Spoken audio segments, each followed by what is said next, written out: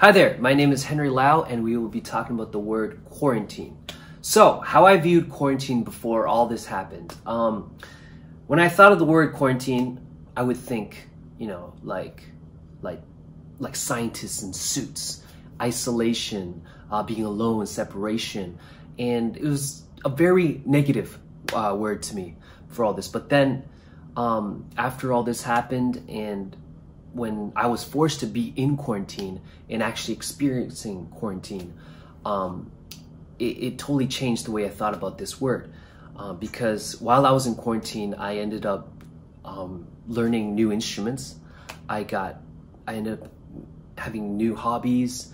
Uh, I started a YouTube channel. I, I just made a lot of, you know, good memories.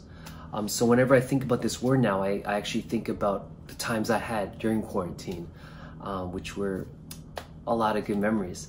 So uh, yeah, there it is for you. Uh, the word of the year, quarantine.